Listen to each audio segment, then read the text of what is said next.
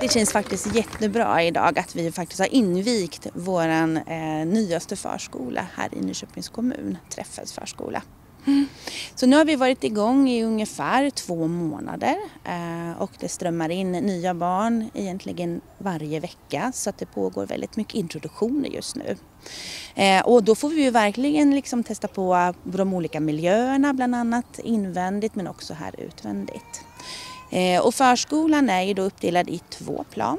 Det nedre planet är för de yngre barnen där de har då, det är två stycken moduler och varje modul innehåller två stycken avdelningar som samverkar tillsammans med varandra.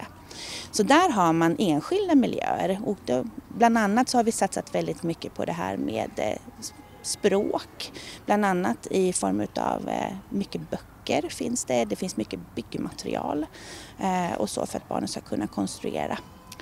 Eh, sen har vi också gemensamma lärmiljöer som är då vårt torg och matsal.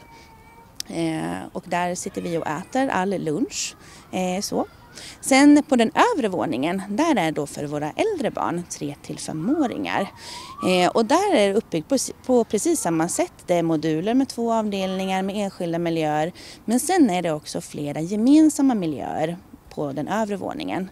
Bland annat så är det då också ett torg och matsal men vi har också ett pedagogiskt kök där faktiskt barnen tills idag har bakat liksom tårtor där tillsammans med pedagogerna. Eh, vi har också ett experimentrum där vi verkligen kan få utforska saker och ting i detalj med hjälp av dokumentationskameror på olika sätt och kunna se eh, saker och ting i verkligen genomskärning. Sen har vi också ett vattenrum där man kan liksom få alltså, experimentera runt omkring flyta sjunka bland annat. Och sen har vi också ett snickeri där man kan få snickra och skapa tillsammans. Och det är lite olika uppbyggt utomhus också, berätta om det. Ja, eh, gården är indelad i olika zoner. Vi har en trygghetszon, det är den som är närmast huset om man säger.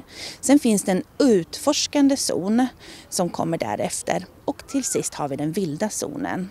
Och trygghetszonen är just det här, liksom, det kanske är för de mera, lite yngre barnen som tillsammans med pedagogerna börjar där innan man vågar liksom, kanske ta nästa steg att utforska mer utav gården. Den utforskande delen den är just mycket kring experiment på olika sätt men du ska också kunna få utmana dig själv.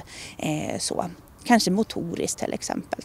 Eller varför inte studera eh, berget liksom, som vi har här i genomskärning för de har ju verkligen skurit det mitt i ett hus och vi ska kunna se hur ser ett berg ut inuti så det är också jättespännande. Och sen har vi då den vilda zonen. Och den vilda zonen är just till för att barnen ska kunna få utlopp för att kunna röra sig på, på många olika sätt. Klättra, springa, hoppa hoppa eh, och så. Och verkligen kunna få utlopp för det rörelsebehovet som, som barnen har.